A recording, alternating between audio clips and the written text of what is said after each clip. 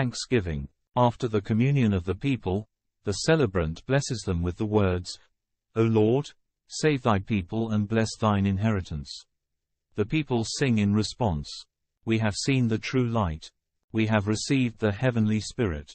We have found the true faith. Worshipping the undivided Trinity, who has saved us. The celebrant then blesses the faithful with the Eucharistic chalice in which the gifts not received are still present, as he takes them to the table of oblation where the youngest member of the clergy consumes them. During the removal of the consecrated gifts the people sing, Let our mouths be filled with thy praise, O Lord, that we may sing of thy glory. For thou hast made us worthy to partake of thy holy, divine, immortal and life-creating mysteries. Keep us in thy holiness, that all the day we may meditate upon thy righteousness. Alleluia, Alleluia, Alleluia. A litany of thanksgiving is then sung to the Lord with prayers of gratitude that he has blessed his people with participation in the heavenly and immortal mysteries. The prayers also ask God to keep the whole day perfect, holy, peaceful and sinless, that through the reception of Holy Communion, God would make straight our path, strengthen us all in thy fear, guard our lives, make firm our steps. The songs and prayers following Holy Communion in the Divine Liturgy, as all parts of the Holy Service, presuppose that the members of the Church are partaking in the Eucharistic mysteries and are receiving the gifts of Christ's body and blood.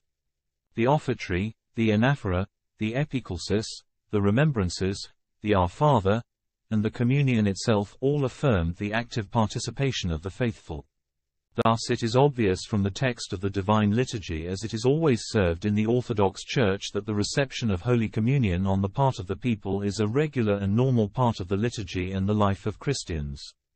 It is not to be reserved for special days or seasons, but is to be done prayerfully and carefully at all times when the Divine Liturgy is celebrated.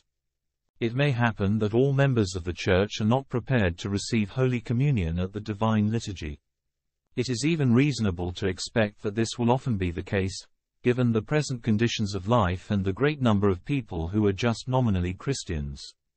However, be that as it may, it must be very forcefully affirmed, without any reservations or doubts, that the prayers, hymns and actions of the Divine Liturgy of the Orthodox Church presuppose the regular and normal participation of all of the people in Holy Communion, and that the failure on the part of the faithful to receive the holy mysteries of Christ is to deprive the divine liturgy of its essential meaning and purpose. If you enjoyed this talk, consider subscribing to this channel and click on the notification bell, then you will know when new content is added to this playlist. Thank you for listening, and have a blessed day.